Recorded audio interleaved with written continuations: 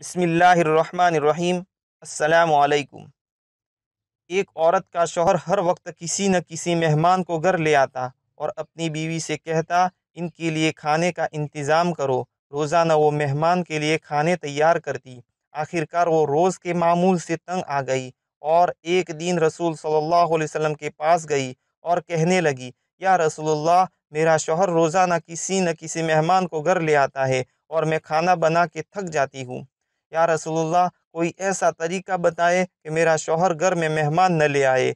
اس وقت نبی صلی اللہ علیہ وسلم خاموش رہے اور وہ عورت نبی کی خاموشی دیکھ کر گھر واپس آ گئی۔ اگلے دن نبی صلی اللہ علیہ وسلم نے اس عورت کے شوہر کو بلایا اور کہا کہ کل میں تمہارا مہمان ہوں۔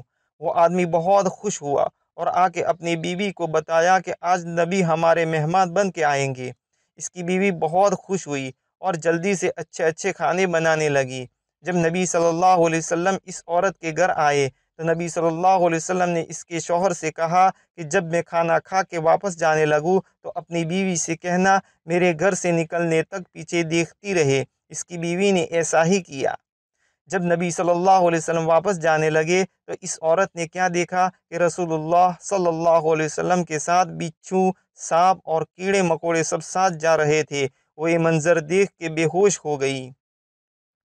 اگلے دن وہ پھر نبی صلی اللہ علیہ وسلم کے پاس گئی۔ تو نبی صلی اللہ علیہ وسلم نے اس عورت کو بتایا کہ مہمان اپنا نصیب خود لے کے آتا ہے اور جو مہمان کے لیے محنت کی جاتی ہے، اس کے بدلے جب وہ واپس جاتا ہے تو ساتھ اس گھر سے ساری بلاؤں اور اس گھر کے سارے گناہ ساتھ لے جاتا ہے۔ تو دوستو، ویڈیو اچھا لگا ہو تو ویڈیو کو لائک کرے اور دوستوں کے ساتھ شیئر کرے اور اسی طرح کی ویڈیوز دیکھنے کے لیے چینل کو سبسکرائب ضرور کرے۔